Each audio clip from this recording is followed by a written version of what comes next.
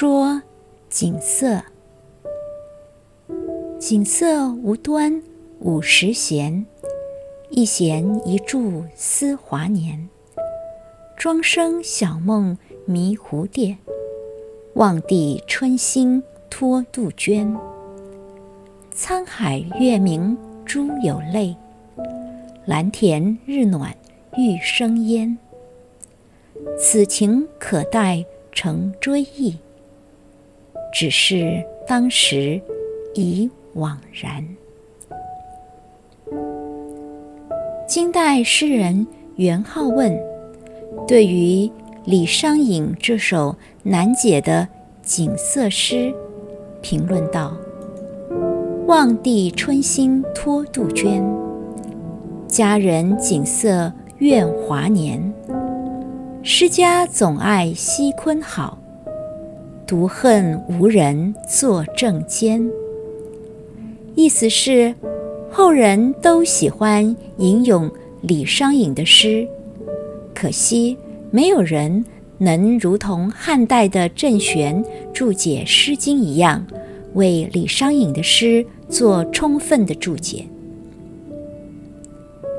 景色诗是李商隐诗集的第一首压卷之作，对于作者和读者都具有重要的意义。有人统计过。从宋代以来，关于这首诗的注释已经超过十种，主要可以归纳为以下五个说法：第一，这首诗是作者自述诗歌创作的心路历程；第二，对于年华逝去的哀伤；第三。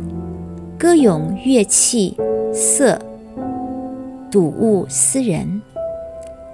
赠色的佳人，可能是诗人的妻子，也可能是情人。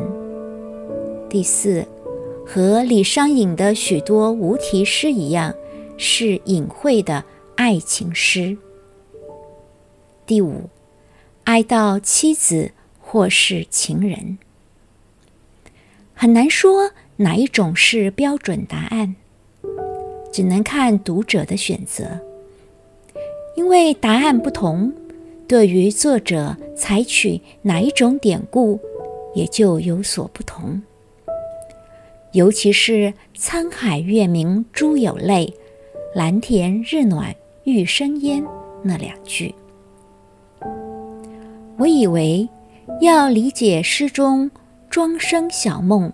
望帝杜鹃、珠泪玉烟四个典故，要从诗开篇看起来随口吟咏出的景色无端五十弦开始弹起。无端是这首诗抒情的关键，也是全诗之所以迷人的地方。无端。不知从何而来，没头绪的，没道理的。李商隐很喜欢用“无端”这个词，比如“云鬓无端怨别离”。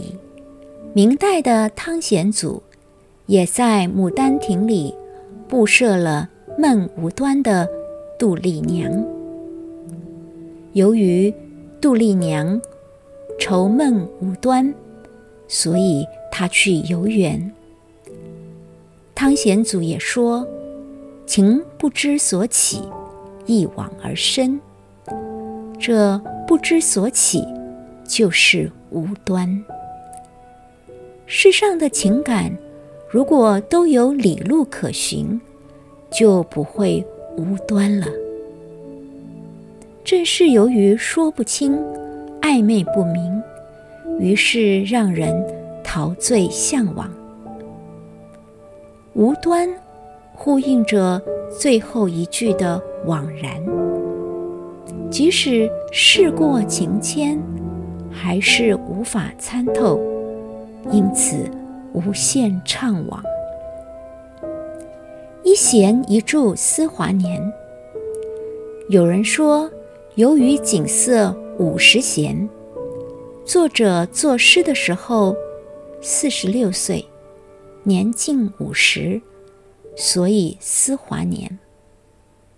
我想这首诗的色装饰华美，是景色，而色的音声由弦和柱组成，弦和柱的组成。以及排列方式决定了弹出的音调。音调有高昂，有低沉，就像是人生的起伏。在起伏的人生境遇中，许多真幻相间的往事，像庄中梦蝶，不知道哪个是我，哪个是蝴蝶。又像是杜鹃泣血，一片赤诚春心，但毕竟是空。晚唐诗人崔涂的诗《春溪旅华》有“蝴蝶梦中家万里，杜鹃枝上月三更”，也是用蝴蝶和杜鹃的意象。沧海月明珠有泪，蓝田日暖玉生烟。和前面的庄生晓梦迷蝴蝶，望帝春心托杜鹃，都是非常工整的对仗，把庄生和望帝的寓言传说更推向神话和虚幻。沧海月明珠有泪，可以联系到珠蚌夜晚向月张开，以吸收月之精华，养育珍珠；又有博物志所谓鲛人的泪化为珍珠的故事。而海上生明月，明月如珠，月、珠、泪。三者的形象接近，彼此在典故中还有互生的关系。珠因月而圆润，鲛人落泪成珠，珠与泪都在月夜下生发。不说泪成珠，而反过来说珠有泪。好像鲛人的泪化为珠，珠又还原为泪，有一种环绕不尽、难以摆脱的牵绊。蓝田日暖玉生烟这句，除了《搜神记》的吴王小女紫玉化烟的故事，一般也用戴叔伦的话：“诗家美景。”如蓝田日暖，凉玉生烟，可望而不可至于眉睫之前也。或是晋代陆机的文赋：时韵玉而山辉，水怀珠而川媚，意思都在形容月光照射蕴藏美玉的地方。仿佛有仙气凌烟，日和月相对，一暖一寒，烟气蒸腾，珠泪坠落，是对比的写法。我认为“沧海月明珠有泪，蓝田日暖玉生烟”有精诚所至、金石为开的含义。虽然比庄生和望帝的典故虚幻，却隐约有知其不可而为之的坚定意志。即使是伤痛落泪，泪可能化为珠；即使是缥缈不可及如烟，烟之下是怀藏的玉。珠和玉。都是坚硬的。于是前面的庄生之梦和望帝春心的迷离空无有了着落。不知从何而起的景色，抑扬顿挫，如人生的乐音。诗人的情感，先是如梦似幻，接着不顾一切，一往而深，在失意中坚决，又在坚决后无可奈何。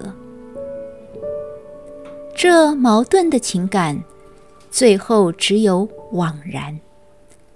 此情可待成追忆的可待，可以说是留待日后。就是此情留与他年说梦痕，那时仍然是怅惘不解。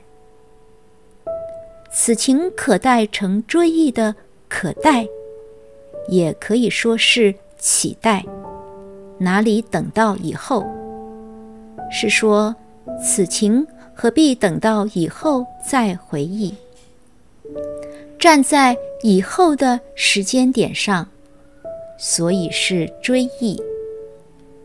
以后或许猛然想起，因此要追。而即使以后再追。追的当时再思量，总是枉然，而且是用过去式的“已”，已经的“已”。以后的过去，不就是现在吗？现在枉然，以后也是枉然。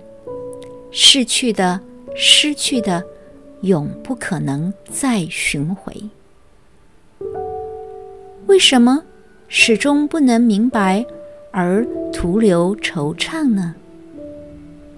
人生之难，就是各种情事的无端呐。我是伊若芬，为您介绍我的书《Emily 的抽屉》。